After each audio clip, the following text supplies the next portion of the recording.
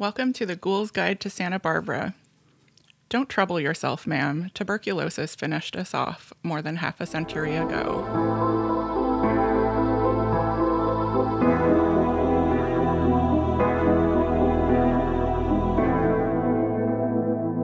I'm just waiting for the one time where someone says a quote and I'm like, oh, I know that. Is this a ghost speaking? Yes. Tuberculosis finished them off. Yes. Is it a British film? Not necessarily. It is set sort of in the UK. Yes, in the UK. Hmm. I don't think 20 questions is going to get me there. The hint is until this moment, you don't know that the person's a ghost. There were two movies around this time that had a twist. yes, it's the Nicole Kidman one. Yes. Oh, the uh, the The others. others. Yeah. Yeah. Yay, we got one.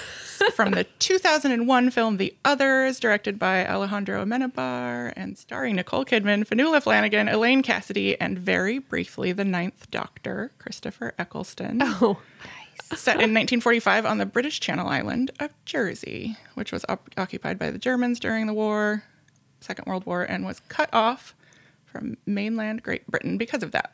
that movie's so good. It's so good. I really enjoy it. Yeah. and it has like a couple jump scares, Yeah. like the little It's, like, girl and the so- seance, and the little kids playing. Um, their the actors' names were Alakina Mann and James Bentley, playing uh, Grace's children, Nicole Kidman's kids, and um, also this movie caused me to be fascinated by Victorian era death portraiture. Oh, yeah. And I wrote a paper on it at the time because I was in college. And now I know a whole lot of things about that, which I wish I didn't really know. Oh, no. it is super interesting, though. I know. Yeah. Oh, oh, cool. Good one, Summers. I gotta I just have to do a rewatch. I haven't seen that in a long time. So this is the Ghoul's Guide to Santa Barbara, and I'm Liz. I'm Jen. I'm Summers. And today, Jen is gonna tell us about Norman Paulsen and the Brotherhood of the Sun. Yes. And actually it's uh it's great that that you chose a Nicole Kidman film because we're going to have a like teeny hint of a crossover in that she was married In to? Tom Cruise, The different cult. Oh, are they- noted cult member. Okay. And okay, so here's here's another just quick thing before I get started. So one thing that's going to come up in this story is the idea of UFOlogy, which is oh. in print capital U, capital F, capital O L O G Y. How would you pronounce that? Ufology. Ufology? Ufology? You you fool? What? it it was just like my brain had a hard time even reading it when I wasn't saying it out loud. But so I was like, I have to ask you guys how you would pronounce that. UFOlogy? That's what I want to say, Okay. but it reads like Okay. So my guess was ufology, and that's apparently how you say it. Oh, but funny. I don't actually know because, you know, like you look up pronounce blah or whatever, and then it's just like some random like SEO trap yeah, video or whatever. So maybe it's not correct. yeah. You don't have to click on it. But that's my guess. So yeah, so in my I'm not gonna try, but picture Stefan. This story has everything. and that's what we're gonna get into. If you happen to be driving on California State Route 1 toward Lompoc, just about 10 minutes after the Highway 101 interchange, you might notice a small, unassuming sign at the intersection of a street announcing the entrance to the Sunburst Sanctuary. And you might, if you are like me, wonder what exactly this place, nestled among the rolling oak dotted hills and between the ranches and farms, actually is. I don't think I've ever driven the one up there. I have a picture. I stopped the last time I drove by and grabbed a picture for you guys. I And then the quickly picture. ducked back into my car when a truck came out. Oh my gosh, that's And terrifying. we'll put that on our socials. Currently, according to its website, Sunburst is a community of practice dedicated to personal and planetary awakening, with headquarters at Sunburst Sanctuary north of Santa Barbara. Listen, wait, listeners, I wish you could see Summers' face right now. I just have no patience for woo woo crap. I Oh cannot. no. Oh, this might be Be hard, hard for one. you. No, I think I'll enjoy it. Like I'll love to hate it. It'll be good. It'll be good. They are labeled as a retreat center online, and they offer programs including meditation, classes in sacred geometry, and all cla- no, wait, wait, wait, Sorry. and all clans flute gathering.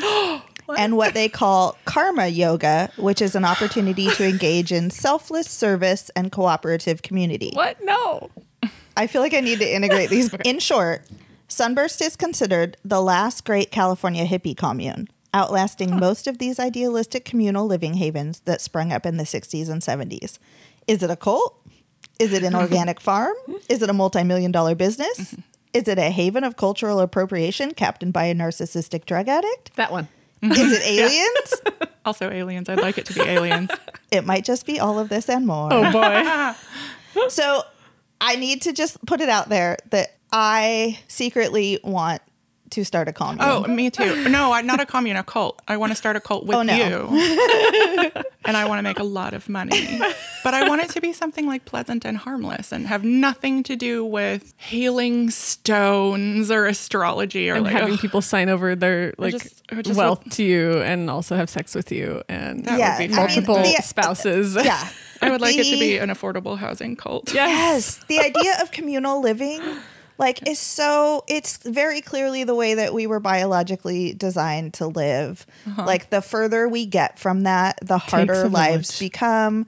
I do a lot of, you know, work with parenting groups and like I feel like so much of the stress of modern parenting is just because we've strayed so far from communal living and communities and intergenerational living. Oh, yeah. and, and Oh, so like but- I don't want to give any indication that I, you know, that I'm against communes or Yeah. I don't want to mock because because like I said this is still an existing community and I don't want to I don't want anyone to feel that I that I'm mocking them um Oh yeah. but yeah. the fact of the matter is that their founder is troublesome and so yeah. in order to understand a sunburst in its current iteration we have to start with Norman Paulsen. Wow, wow, wow. Communes. Yeah. There was a book in my high school library about communes, and I remember reading it and being like, "That sounds cool," but like, I don't want to parent other people's kids. I don't want the "it takes a village." Like, mm, mm-mm. yeah it's not for it's not for everyone and yeah like you i feel like you have to go into it like making sure everyone is on the same Yeah. Page. Yeah. On board. so in order to understand sunburst in its current iteration we need to start with norman paulsen norman was born in 1929 and grew up in lompoc as a child he claimed to be visited by illuminated beings Oh. who oh. used visions to teach him skills or offer guidance Here we go. I'm so sorry. I hate it. I'm I'm trying not to interject as much over like your beautiful narrative, but like, can it? Oh, okay. I'm gonna stop. i'm just gonna warn you like yeah if I'm just gonna We're gonna- dissociate during the rest of this. Mm-hmm. This is just the Oh. beginning.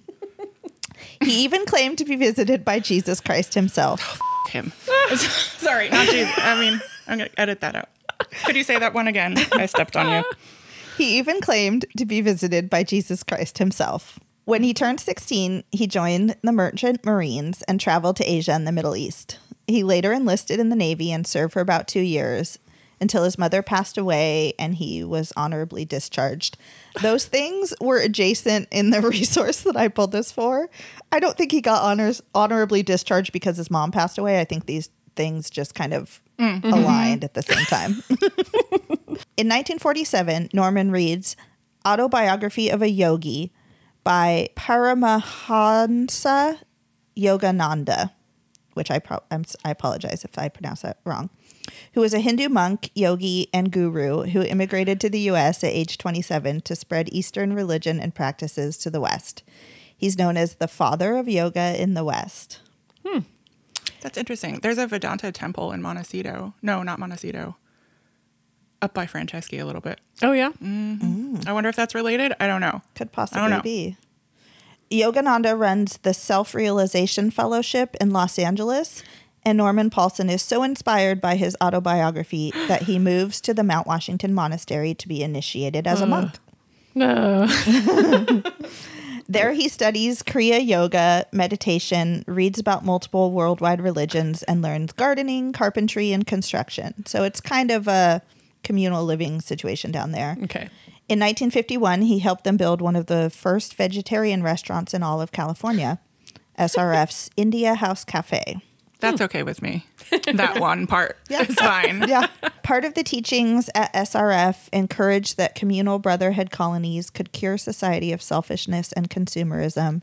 And during this time there, Norman has a dream where he saw young people living on the oh. land near Santa Barbara.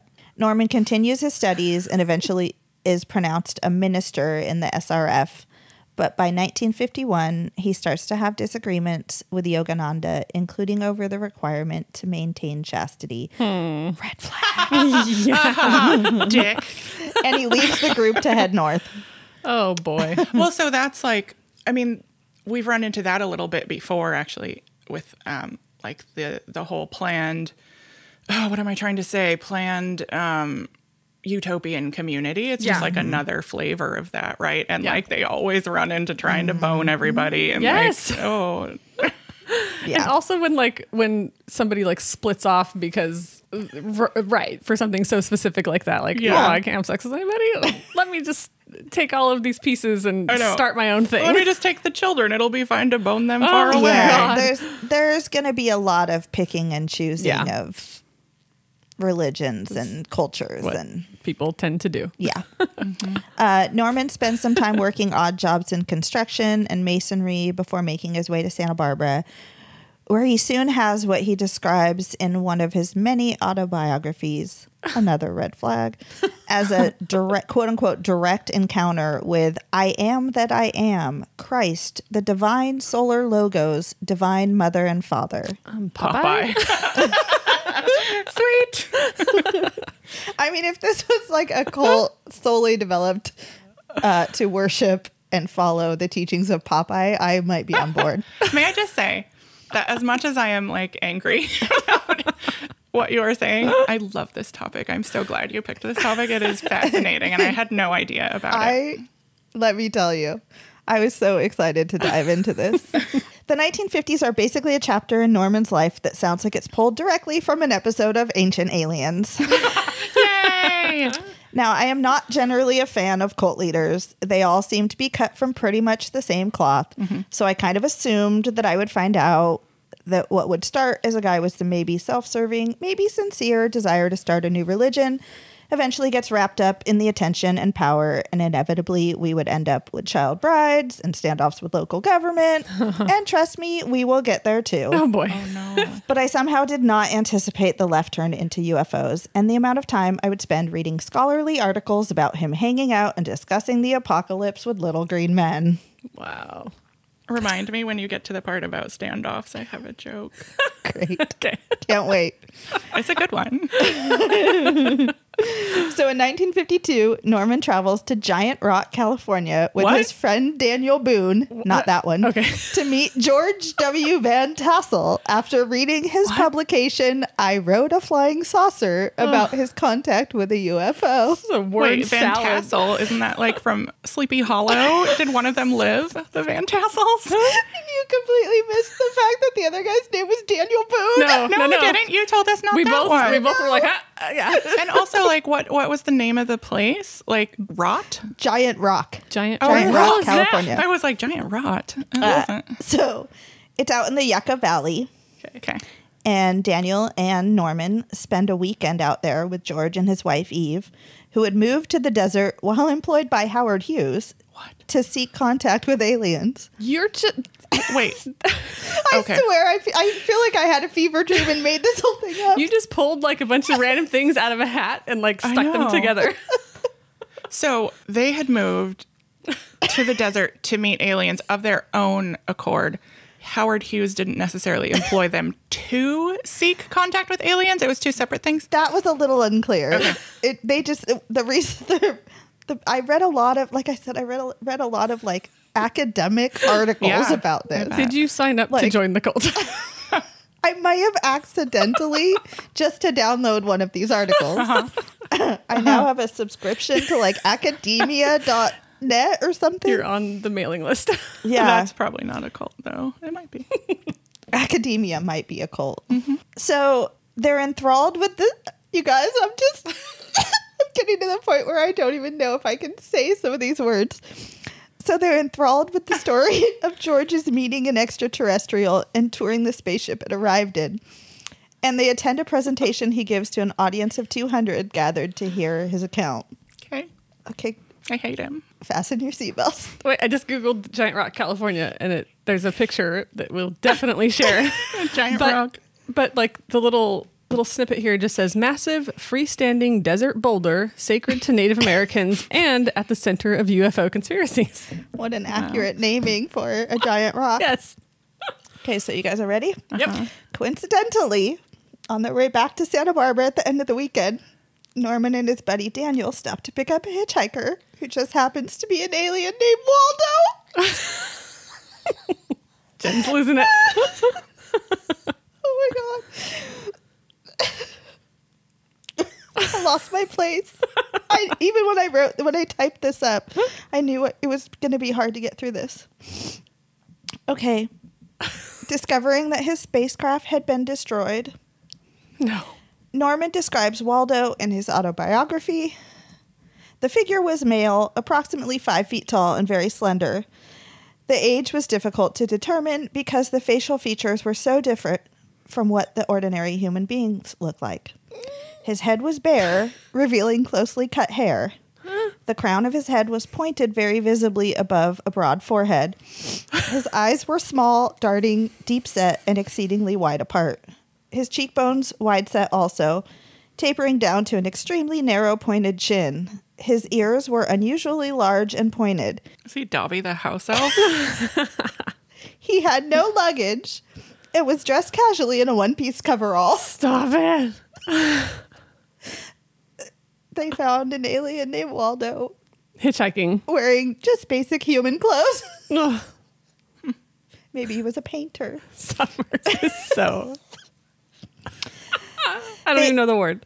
They then claimed that seeing as how Waldo never slept, seemed to be always agitated, and was expecting imminent rescue, he'd be better off at the Van Tassel's house than with them. So they drove him back out to Great Rock and left Great Rock and left him there. Oh. I didn't see that coming.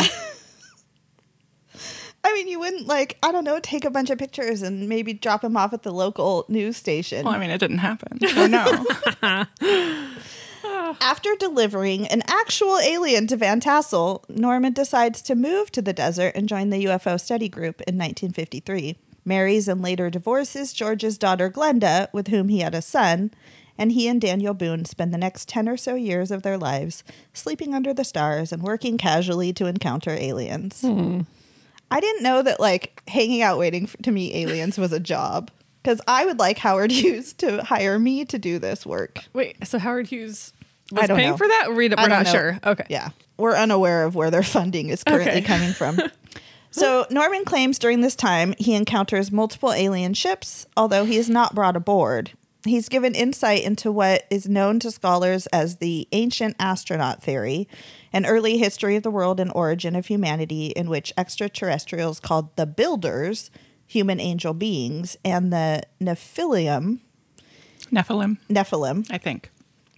Uh, no, it's spelled more like Nephilim. You're you, you're probably right. It's like a race of angels. yeah. Oh. either designed human beings entirely or augmented their development through experimentation and interbreeding. This sounds like the movie Prometheus. Oh. Sounds one of like the a lot alien of movies. the beings told Norman that 500,000 years ago they came to Earth to establish an ideal civilization, the lost continent of Mu, spelled Oh. M U. Off to these people. But that eventually war with an invading intergalactic malignant force caused them to leave. They told him one day the ancients would return, and his job was to help prepare the way for their return. When an apocalyptic battle would take place Oh, between boy. the forces of light and the forces of darkness. Now, we all know I love science fiction, mm-hmm. but I like to keep it in my fiction Yeah. category. Yeah. It's not surprising that during this time, Norman and his buddies are developing this focus on aliens. We are, of course, in the Cold War era of the 1950s, where mounting tensions between the US and Russia is framed as a struggle between good and evil and ushered in multiple UFO religi- religions, including the Aetherius Society in London and the Church of Scientology in America, founded by 1954 by L. Ron Hubbard. Hmm. Mm-hmm. Uh, I didn't actually put that together that that was like the Cold War was related to uh, space alien crap. alien religions. yeah. So, like I said, I read a lot about all of the stuff that he claims and he believes. And man, I just, speaking of Tom Cruise, I just literally am to the point now where I can't even watch a Tom Cruise movie. Oh, yeah, Because course. I am completely and utterly distracted by the fact that this man believes this bullshit. Yeah. I feel the same about anything with Elisabeth Moss. That's know. I hard just can't really watch her. Yeah, I I, couldn't watch Handmaid's Tale because I was like, "You're in a cult. I can't watch you be in a movie about." How cults are bad. Yeah. Yeah. Yeah. So, anyways, as we enter the 1960s, Norman Paulsen's encounters with aliens and their spaceships continues to intensify. On January 1st, 1961, Norman meets with an alien female named Elithia. It's spelled capital E dash L I T H dash capital E capital A who guides him on a 40 day initiation where he has alien objects placed in his body. Hmm. And his butt was it his butt? In quotes, I put, Is this anal probing? What is it with the anal probing? What is it? And is quote unquote circumcised by a ring of fire from the presence of a divine spirit. What? It sounds to me like Norman had an acid trip oh yeah. And an STD. and yeah, and developed an STD. It's during this encounter that he is told that soon the aliens would return with an army of ships to deliver the final ultimatum to Lucifer and Satan, who have had possession over the earth for over 12,000 years. yeah. I will say this is interesting because I haven't I don't think anyway, I don't think that I have heard of like mixing Christian mythology with space aliens before. It seems like I it's mean, been separate. Really just seems to be like throwing spaghetti at the wall to see what sticks. yeah. I'm interested in that. And at this point, he, he hasn't established the the Oh, cult no, or the we haven't commune. even okay. there yet. Okay. This So is his he- origin story. Yeah. Yes. Okay. He tells Boone and Van Tassel and the rest of the community at Great Rock about this encounter and this prediction. However, they quote unquote did not recognize the truth of his visions, but thought him crazy and sent him away. And those are his own words from his autobiography. I love it. Now we're going to do a quick change of pace, which I am going to call literary burns. And so uh, I'm going to read you a quote from Carole M. Cusack, who wrote an article called Norman Paulsen and the Brotherhood of the Sun, which I used as a reference. And the quote is It is reasonable to, sus- to speculate that Paulsen was aware of the power of the memoir as a personal testimony, and that, as many spiritual teachers without formal college or university qualifications have done, he wrote an autobiography intended to impress and persuade potential converts. Yeah. Sick burn, Carol, sick burn. Wait, why is that a burn? Because she's basically like, he doesn't have any formal college or university qualifications, so he had to rely on this to get his converts. Like, I feel like a lot of these articles had kind of like little thinly digs where they'd like point out that he was uneducated or that he was basically m- making all this crap up. But like, I don't know. I'm not looking for university credentials in my cult leaders. Like, is there um, a track record of cult leaders who went to college doing better? I don't know. No, I think it's Just just, like a that, like, respectability? Hmm. yeah, exactly. Like he had to kind of like build himself up because he didn't have credentials to fall on. Because now he's a published author. Yeah. Yeah, and I wonder also though, like when you're reading a memoir, it's very like an intimate experience for the reader, right? Like you feel very connected oh, to yeah. the person Yeah. and feel like kind of like FDR's fireside. Yeah, it's like you feel like they're talking to you. Yeah. That personal. I feel that way when I read the forward to Stephen King books. So hmm. Yeah. yeah, Interesting. he's my book dad. Would you join his cult? Oh, for sure. After leaving the desert, Norman Paulsen has a tough time getting things on track. He's living in poverty, working as a bricklayer in 1964, and one night he overdoses on his sleeping meds and ends up in the hospital receiving a tracheotomy. During the procedure, he claims to have had a near death vision of his body floating above him, and three men in robes ushered him into the light of eternity. He wakes up later in leather restraints, transferred to the Camarillo State Psychiatric oh, Hospital, boy. where he is involuntarily held for 90 days. Okay. Is that now CS Cal State mm-hmm. Channel Islands? Yeah. Yes. Even still, he believes the builders need him to create a community that can be used as a base station for the return of the ancients. Oh my goodness. Eventually, back in Santa Barbara, Norman is teaching meditation and leading spiritual discussion groups targeted at troubled youth. Yet another red flag. Oh man. He himself is 40 years old, six foot four, and almost 300 pounds. And a former member says, quote, Many of us came from broken homes and were searching for the security we never had in our mm-hmm. own families. Mm-hmm. At that time, Norm was a very strong father figure for all of us, end quote.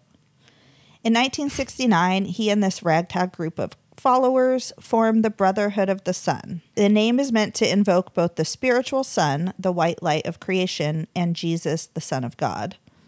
It's during this time the group starts meeting in an old ice cream factory, which Paulsen was living in, which I believe to be the old McConnell's building, maybe off mm. Milpas, mm-hmm. but I couldn't confirm the With the cow- location. with the cow on With the cow. Yeah, Yeah. that's what I kind of pictured it in my Let's head.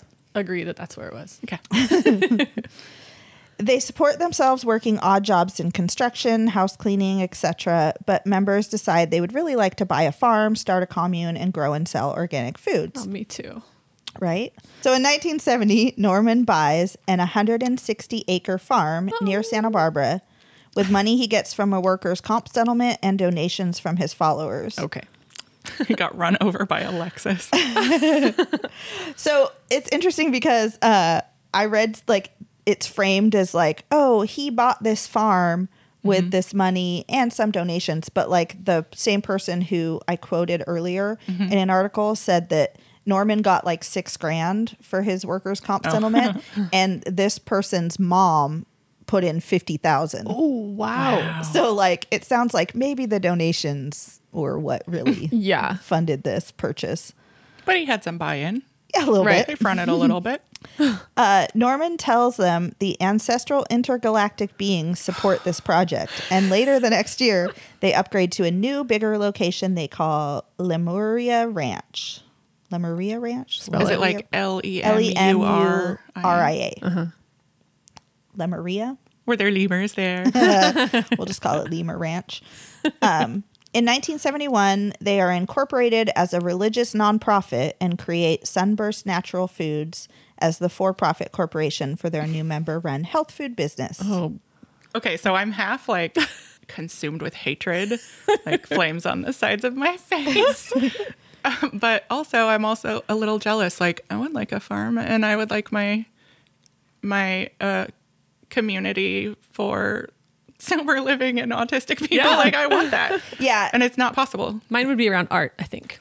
Yeah, now we're getting Okay. to the part of the story where I support the members and I Yeah. still dislike Norman. Yeah. Okay.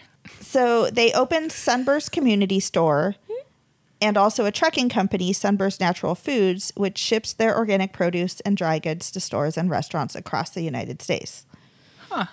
They continued to amass their quote unquote natural foods empire throughout the 70s, upgrading to a 2,000 acre farm, opening two local restaurants, a whole grain bakery, a dairy, and a fruit juice bottling company where they sell Sunburst organic apple juice and orange juice, which sold well nationwide. That sounds familiar to me. So one of the Sunburst community stores, and I, ha- I think I have a picture somewhere here, um, was on the corner of Hollister, which is now a uh, auto parts store. I have little chills. Maybe we went. Yeah. um, I'm going to talk in a future episode about my mom's obsession with uh, Adelle Davis, and I realize I have like exposed myself for having mom issues I didn't even know I had on this podcast. But um, like, yeah, around the same time, Santa Barbara had like some weird, crunchy, Yeah. health foody stuff. Oh, and it's probably 90% of it was them. Yeah, I bet. I Yeah. bet. Members lived and worked at the ranch and mostly weren't paid.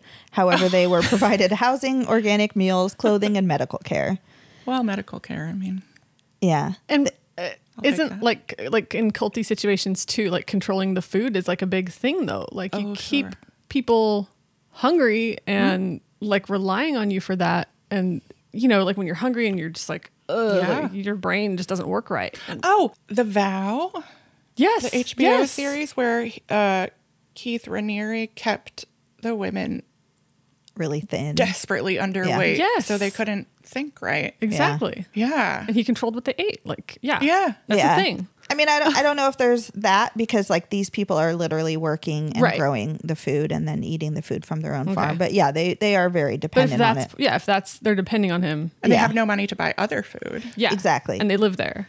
So they live Yeah. under a community morality and rule structure, uh-huh. advocating for healthy communal living with no drugs, alcohol, or tobacco, eating nutritious vegetarian meals, which I heard that like they started out as this like lacto ovo like they had hmm. very strict rules and then Right. like it kind of over time got a little less uh, restrictive hmm. as far as what they could eat. Okay. But they lived simply and attuned with nature, dressed plainly, and did not engage in pre or extramarital sex. They also practiced yoga and meditation together daily, and at one point, membership reached almost 350 followers. Whoa. By 1976, they had brought in over $3 million and once again moved to an even larger 3,000 acre farm called Tajiguas Ranch. Hmm. Next, one member wrote the first of many cookbooks, the Sunburst Farm Family Cookbook, and Paulsen bought, fixed up, and then sold four different ships which they used to support their seafood industry, Sunburst Pierce Fisheries, and also chartered for pleasure cruises. None of that, there was no crashes, so unfortunately, this story does No not mar- involve a shipwreck. A maritime disaster. Yeah. By Jen. yeah. Those are my fave episodes. This Like- one's good though. Ships though. I was like, ships, where does L. like, Ron Hubbard. Yeah. Yes, Oh, yeah. I feel like he kind of took a lot of that Sea on. Yeah. Um, so there's, I have some pictures also, which I'll share. Like some of them were look like you know like schooners, like tall ships, and they like would buy these things, and then oh, here's one on the cover of one of his auto- autobiographies. Sorry, it's small, but um, yeah, like they would buy these ships and like fix them up, and that would be like another job for these people to do. Like here, make this boat nice, um, and then they would like take take people out to the islands and stuff. Um, so, however, it's also during this time that Norman's behavior continues getting more and more erratic. He allegedly began stockpiling weaponry oh, and had a member that had served in the military start running drills with the community on the farm. Although no alcohol, drugs, or tobacco were permitted on the group's property, it was beginning to be well known among the members that Norman had a serious drug and drinking problem. Oh, great. So that whole do as I say, not as I do. Mm-hmm. The rules are for you guys, but not for me kind of thing. Though he claimed that as he you guys are just prepared to really hate him even more. Okay. Though he claimed that as he had stepped away from the business side of things to focus on the spiritual growth and counseling of his followers, his addiction was a direct result of absorbing their negative energy. Oh. Basically, he blamed them. Yeah. Mm-hmm. Later, members who supported Paulsen through this time would refer to his struggles as comparable to that of what Jesus too endured. No. Both men suffered for their people and quote unquote gave too much to others and absorbed all their bad karma. Mm. Yeah, and like famously, the disciples had to go to Al-Anon because Jesus was such a raging alcoholic. Yeah. Wow. Norman also began referring to himself as Christ more often. Oh. Oh, that's good. and that, that, he good. rode in spaceships with the builders as one of the ancient rulers of Mu, the lost continent which would be reincarnated as the Garden of Eden on Earth. He was also accused of brandishing weapons in public, sexually abusing minors, and tax Uh-huh. There it is. evasion. There No. it is. I mean, this is kind of like if we were going for cult bingo. Yeah. Yeah. The playbook. Yep. It's during this time that Sunburst is investigated by anti cult groups due to the bad publicity, leading to two minor members being kidnapped by famed deprogrammer Ted Patrick. Huh. Oh, Ted Patrick. I don't know. Wait, who that oh. is. Famed Wait, do you really know who this person is? He's famed. In 1978, Norman is out driving while drunk, and when the police try to pull him over, he instead drives to the farm and initiates a standoff with police. wow. Cue your Oh, okay. One time I was in a coffee shop uh, bathroom. I've told you this before, but I, the listeners, I haven't. I don't know if it's going to stand up to my hype about it. But um, there was a chalkboard, and someone had written Waco in all capitals and then like out from the letters, like Waco, W A C O, like top to bottom, and then just wrote, What a cookout. Oh, oh no. Jeez. And I laugh about that like probably three times a year. So Norman's ranting about the coming apocalypse. He's eventually charged with drunk driving and resisting arrest. After this incident, as well as the People's Temple mass suicide in Guyana around the same time, mm. the community is under increasing scrutiny. And that's the Jim Jones thing, right? Yes, Like, Yeah. that is the Jonestown massacre. Tensions between the outside world are additionally increased in 1980 during the presidential campaign, as the current location of Sunburst Farms is adjacent to Ronald Reagan's ranch in the San Ynez Mountains. Oh, amazing. I was wondering where they were at this point. Yeah. So they're Yeah. like just bopping around. Okay. Even though by this point Sunburst had earned over $16 million through 12 wholesale and retail outlets in five cities, growing concerns about their leader's mental state caused members and store employees to seek safety nets in their communities, and they attempt to unionize, claiming that the company does not fairly distribute its profits. right. Many members leave outright, and others file grievances about anti union intimidation. By 1981, membership is down by two thirds. The farm's profits dwindle due to labor woes, high inflation, and the impending recession. A hmm. lawsuit is eventually filed by over 70 former members seeking 1.3 million in owed profits. This lawsuit is later dismissed. However, a separate suit concerning the, their inability to pay debts caused the eventual sale of Sunburst Farms to Higas Ranch. By 1982, Sunburst has liquidated all other California properties. It's stated in the article I read by Carole Cusack that not all residents of Sunburst Farms or employees in the organic food business were believers in Paulsen's vision and that the farms and ranches were holy places. I imagine they were just like hippie surfers who wanted a slice of California mm-hmm. commune, commune life. And we kind of touched on that on mm-hmm. our you know episode of just kind of like people who join things but maybe don't fully 100% support the vision of the founder. That's a good point. here's another little scholarly burn just because. One of the quotes from an article i will link to on our website notes that in regards to one of his seven yes seven autobiographies quote unquote from a bricklayer untrained in the literary arts his work reveals a pathology of self-acclamation and self-deception this first autobiography, titled simply Sunburst, seems to be almost a desperate attempt to legitimize his beliefs and rebuild his fan base. Hmm. So they're kind of struggling. He's trying, he's like, I'm going to write this autobiography and tell Yeah. everyone how great I am, and then they'll want to join me. Yeah. So it's then that Paulsen and about 100 of his most committed members relocate to a large cattle ranch in Wells, Nevada, and a mobile home park in nearby Oasis, where they run a gas station, a mini mart, a restaurant, and a hotel. This ranch is less fitting for their previous agricultural endeavors, and the long cold winters and short growing season test their ability to produce products the way they had hoped. Within a year, there's a lien on the property, and most of them quickly relocate to Salt Lake City, Utah, where they rename themselves the Builders. Oh boy. Yeah. Towards the end of the 80s and into the 90s, membership dwindles further, and the approximately two to three dozen remaining members abandon farming to manage an apartment complex they also live in. Two, two or three? two to three dozen. Oh, okay. Mm-hmm. Sorry. while some in the inner circle share a four story mansion. They begin to end pooling their resources, and members take jobs flipping houses, running an excavation business, and offering yoga and meditation retreats. Some go with what they know and open several natural food stores named New Frontiers. These eventually spread to Arizona, where a few members move and open three stores between 88 and 95. So what were they named? New Frontiers. That's how Jen says frontier. Oh, really? Uh huh. Okay. What did I say? You say frontier. You say it all the time. Frontier. Yeah. Yeah, frontier. Frontier. But that's okay. It's like a front. That's just The front. that's just how you say it. Whoa. It's okay though. yeah. Okay. Uh, Norman hops around between Salt Lake and Las Vegas, but eventually returns to California in 1988, supposedly to look for land for a new commune. Though one article interviewed him from his Ocean View condo in Ventura, where he collected ties from the remaining members and oversaw the remodeling of his current sailing ship. Tithes like money. Oh, Yes. Okay. I heard ties. and I like, neckties. neckties? Yeah. Okay, here, I'll do it again. No, that's okay. The one article interviewed from I'm going to add a word in there. Okay. Though one article I read had interviewed him from his Ocean View condo in Ventura, hmm. where he collected tithes from the remaining members and oversaw the remodeling of his current sailing ship. Uh, when? How can I get into a situation where I'm collecting tithes In your From- ocean view. from Start some a, members? Start a religion, form a cult.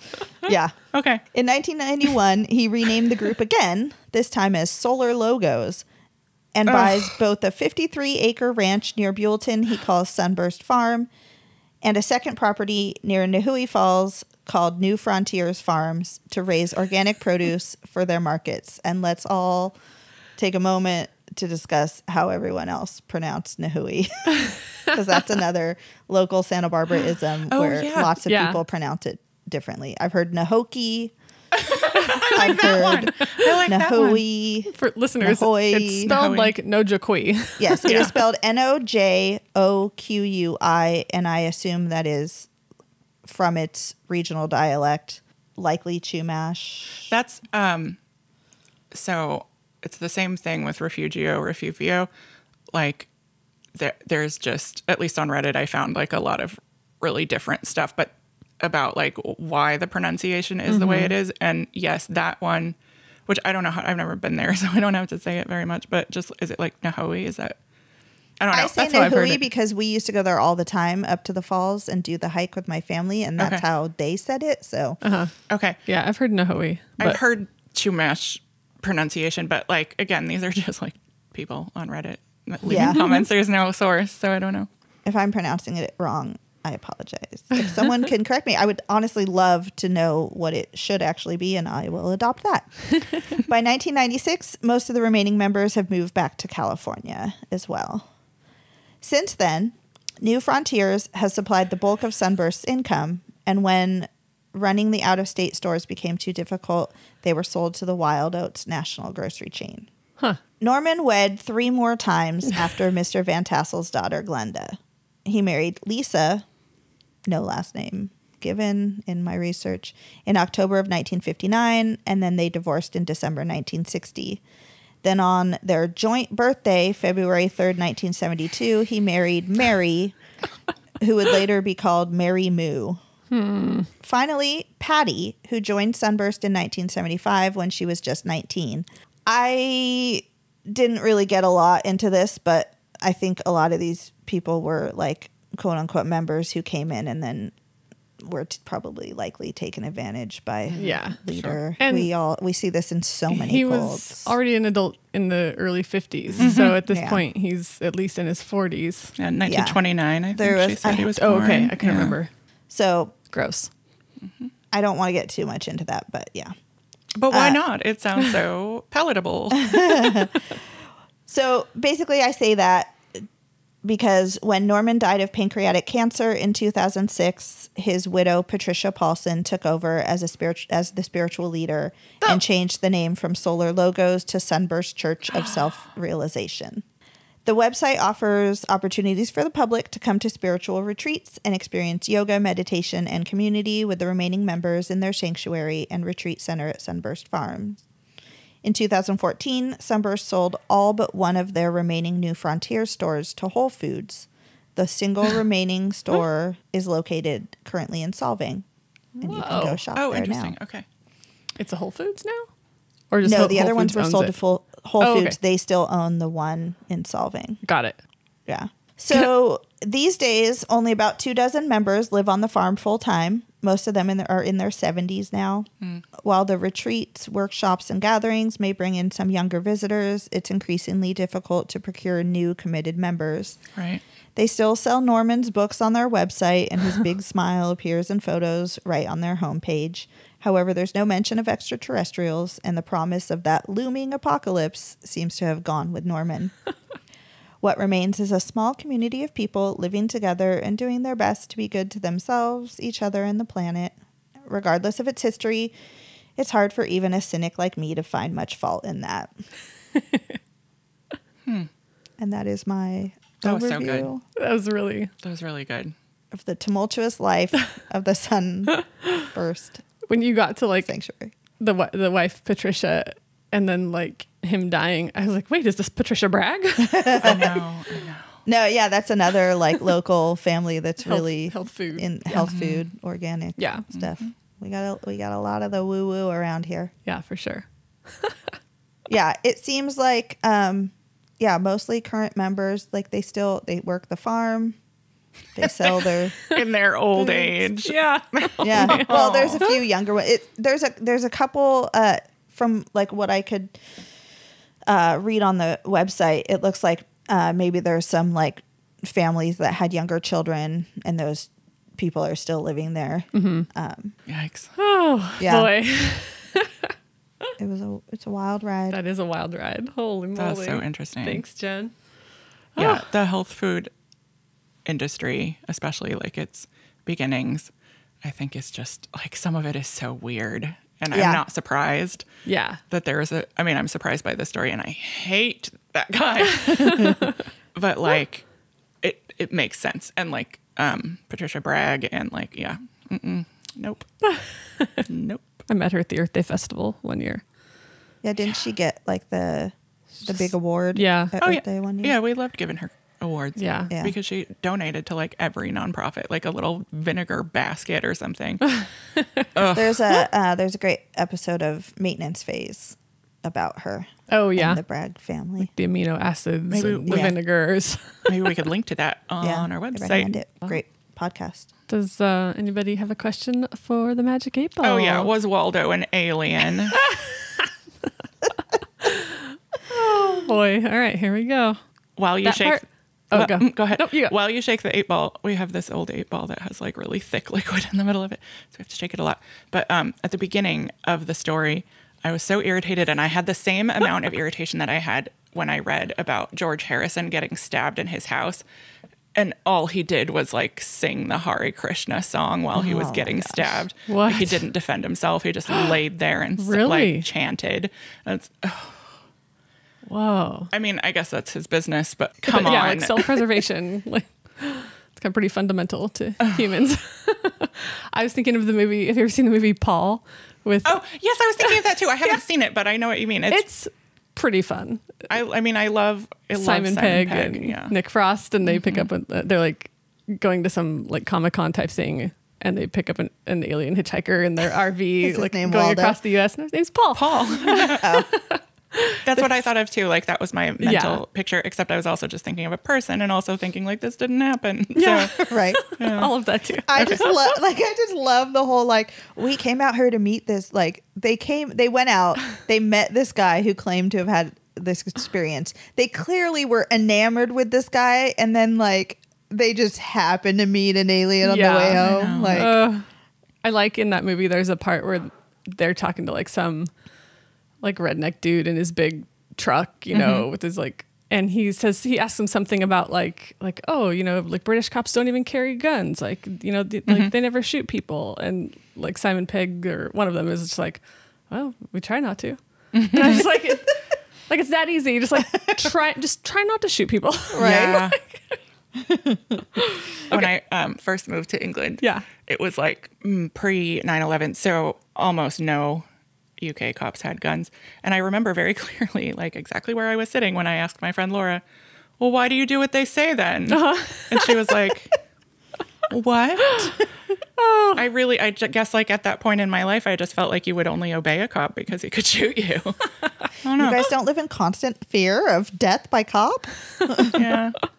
all right was Waldo an alien mm-hmm. outlook good I dispute that. I disown the magic eight ball. oh man That's it. I'm I'm subscribing to oh no the cult of ancient aliens. oh aliens. man oh, that a- was so good. Yeah, that's a wild story. This week, if Oh, yeah. everything goes as planned, we'll be sharing our um, live show from downtown Santa Barbara. Yay! so, Right. yeah, We're look, so excited about this Yeah. opportunity. yeah. So Nice. Look So- for Join us for some spooky hangs. We're going to tell you some stories yep, and we'll get ready for Halloween. and we have some fun merch to share too. Yeah, a little bit. little tiny bit. Oh, and uh, win your own terrible and inaccurate magic eight ball. That's right. We're going to give one away at the live show. So come on down to State Street and join us.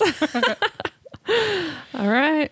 You can get uh, more information on that, show notes from this episode, lots of uh, other cool stuff on our website at ghoulsguide2sb.com. Yep.